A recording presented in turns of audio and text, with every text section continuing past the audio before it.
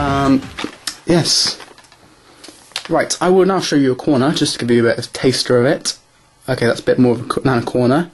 That's more the bottom of it. Um, you can see Activision, and six, uh, Activision and 16 plus. So you see Activision. I'm guessing you must think it is Black Ops, and you would be wrong. It's Call of Duty 4 because we couldn't get Black Ops. But um, this is Call of Duty 4, Modern Warfare. I think yes. It's a bit like Warface, but we'll ignore that.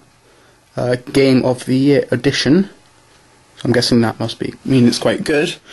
Um, the back of it is quite good. Um, not sure what that all means. Best of show. Surely it should be best of the show. Uh, just, just that that bit there.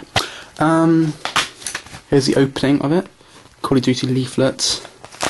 Bit of a boring thing. But I'll have to read later because I have absolutely no idea what to do on these games. Um, there's a disc. Quite a nice disc. Just a disc. What more can you want from a disc? Plain and simple. Disc. Disc.